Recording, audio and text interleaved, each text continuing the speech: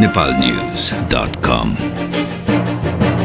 News from Nepal as it happens.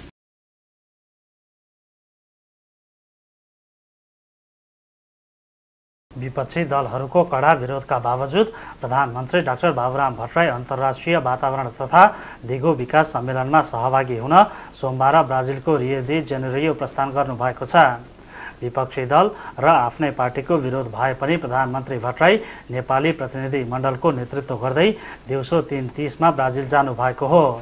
काम चलाउ प्रधानमन्त्री विदेश भ्रमण जान नहुने भन्दै भट्टराईको भ्रमण रोक्न काङ्ग्रेस एमाले लगायत विपक्षी दलका नेता तथा कार्यकर्ताहरूले त्रिभुवन अन्तर्राष्ट्रिय विमानस्थलको मूल गेटमा प्रदर्शन गरेका थिए।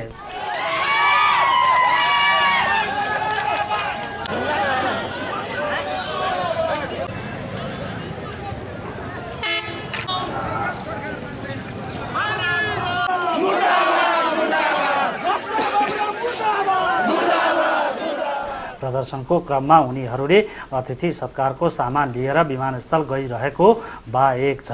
पाँच चार पाँच तिन नम्बरको परराष्ट्र मन्त्रालयको गाडीमा तोडफोड समेत गरेका थिए।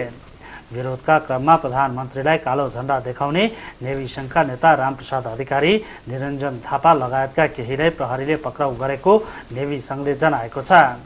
विश्वमा देखिएको वातावरणीय समस्या समाधान गर्न संयुक्त राष्ट्र सङ्घले आयोजना गरेको सम्मेलनमा विश्वका झन्डै एक सय पचास राष्ट्राध्यक्ष र सरकार प्रमुखले भाग लिनेछन्।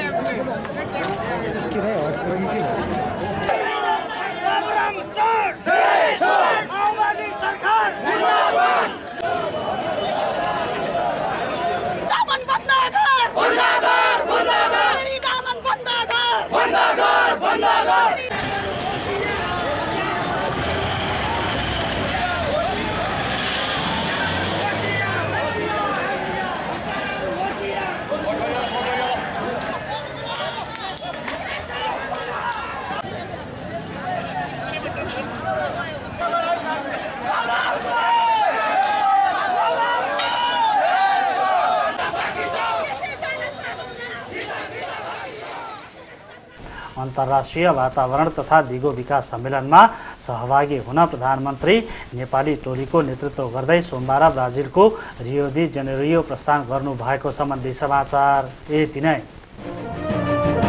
nepalnews.com. News from Nepal as it happens.